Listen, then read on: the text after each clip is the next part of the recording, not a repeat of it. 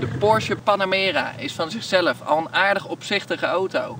En zeker in de uitvoering turbo is het een beest om te zien.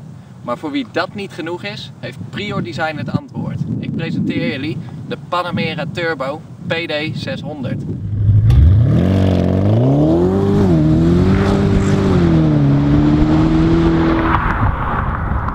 Deze Porsche Panamera is verre van standaard. Sterker nog, deze auto is extreem. Extreem van buiten. We zien natuurlijk een hele gave whitebody van Prior Design. Maar ook van binnen. Het interieur is helemaal aangepakt. Het ziet er heel exclusief uit. Misschien een tikkeltje ordinair. Maar die auto kan het zo goed hebben. En het leuke is dat deze Porsche Panamera Turbo ook onderhuids lekker aangepakt is. Deze Panamera Turbo is standaard voorzien van 500 pk. Heeft een PDK versnellingsbak met 7 traps. Een dubbele koppeling. Schakelt waanzinnig snel. Dus standaard is dit al een hele lekkere auto. Maar deze is dus aangepakt. Het motormanagement systeem is aangepakt. De 4,8 turbo, die eigenlijk voorzien is van twee turbo's. Dat is dus een twin turbo. Die turbodruk die is hier en daar wat opgevoerd. Nou, deze auto levert nu 600 pk en hij heeft een Capristo uitlaat. Nou, lekkerder kun je het toch niet hebben. We hebben 830 Nm koppel aan boord. Een beest om te rijden.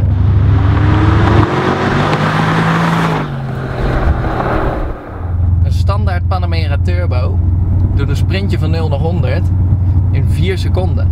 Met deze Prior Design Kit, de Capristo uitlaat en de turbo tuning, 600 pk, moet dat sneller kunnen.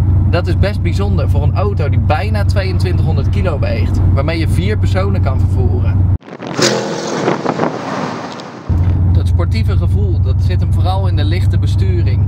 Hij stuurt zo licht, maar direct en geeft veel feedback bij het insturen in een bocht. Dat je het gevoel van die 2200 kilo helemaal niet hebt. En dat is mooi. We hebben nu een auto die weegt 2200 kilo waarmee je bochten verslindt. Dat is ongekend.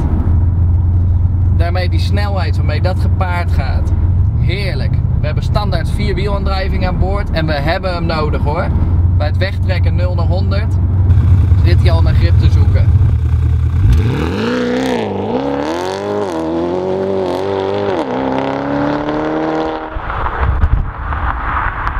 Als hij dat niet had, al dat vermogen op de achterwielen, dan was het alleen maar uitbreken.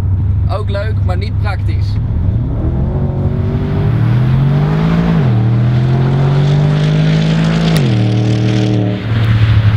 We kennen allemaal de niet kloten met exoten. Nou, en een exoot kunnen we dit wel noemen, een Porsche Panamera Turbo. Maar waarom zou je dit dan doen? Waarom zou je een whitebody kit op een Panamera plakken? Ik kan wel wat bedenken. De Panamera is de op één na best verkochte Porsche ooit gebouwd. De Cayenne verkoopt net nog iets beter. Maar let maar eens op, je ziet aardig wat Panamera's rondrijden. En dat is misschien dan een 3 liter diesel. Dit is een turbo, die ziet er wat agressiever uit. Als je echt wat unieks wil, dan moet je hem laten ombouwen. En Prior Design, die heeft dat wel begrepen. Want ze hebben van een redelijk klinische auto, echt een bul van een auto gebouwd. Nou, zeker met deze matgrijze lak erop. Ziet er zo gaaf uit. Jullie zien dat deze auto best wel laag op zijn wielen ligt. Nou, dat is ook niet standaard. Deze auto is voorzien van een KW-onderstel. Wat helemaal in te stellen is via de luchtvering. Je kan hem daardoor helemaal in zijn wielkasten laten zakken. Je kan hem ook iets verhogen, dat is ook wel prettig. Zeker in Nederland, we kennen veel drempels. En dan met deze kit erom, dan zou je alleen maar je bumper schrapen. Als je hem zo stilzet en hij zakt helemaal door zijn vering heen, ziet er zo gaaf uit. Lekker laag, lekker fout, daar houden we wel van. En dan die bril, die Capristo uitlaat erbij.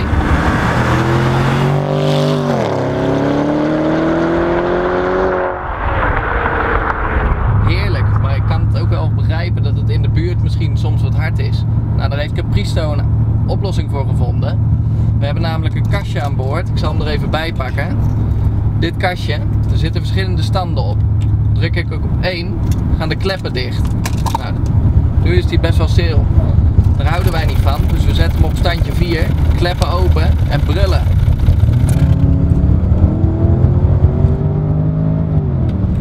Die tussensprints is echt bizar.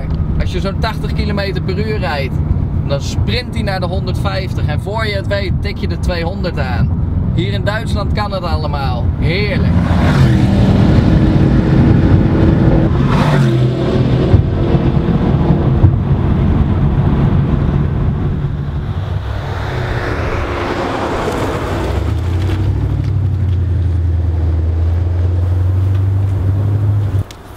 Zo, een dagje op pad geweest met de Panamera Turbo van Prio Design.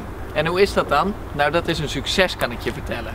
Hier en daar zijn er wat aanpassingen uitgevoerd, waaronder het onderstel van KW. De auto stuurt echt net even wat strakker, ligt beter op de weg. Het uitlaatsysteem van Capristo natuurlijk. Die auto klinkt fenomenaal.